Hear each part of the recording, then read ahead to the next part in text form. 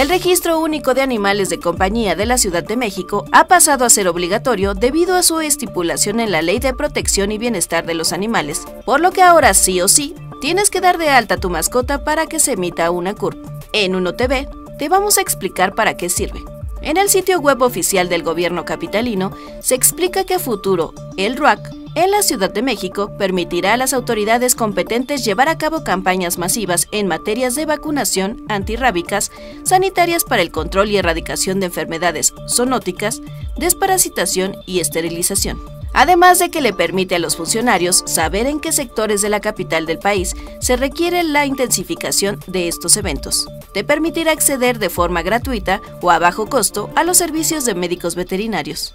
Según el gobierno, se trata de una acción en beneficio de la salud pública y de los animales, además de que te permitirá localizar con mayor facilidad a tu peludo en caso de que se extravíe. Para registrar a tu mascota, ingresa al sitio web www.ruac.cdmx.gov.mx y date de alta con tu nombre completo, un correo electrónico y una contraseña. Una vez terminado este paso, inicia sesión y pulsa en registrar un nuevo animal de compañía. En este paso, se te pedirán datos como especie, raza, sexo, edad, nombre, domicilio, forma en que adquiriste a tu mejor amigo, vacunas que tiene aplicadas, si está esterilizado o no, si tiene chip o tatuaje y fotos.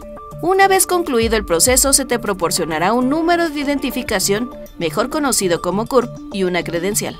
Listo, has terminado el trámite, pero recuerda que en una sola sesión debes de registrar a todos los animales de compañía que vivan en tu casa. La Ley de Protección y Bienestar de los Animales establece que las personas que no tengan la CURP de sus perros o gatos pueden ser acreedoras a una multa que oscila entre los 2.300 y los 3.400 pesos mexicanos. También podría ser arrestado por un periodo de 24 o 36 horas. Sigue escuchando información útil en Uno TV.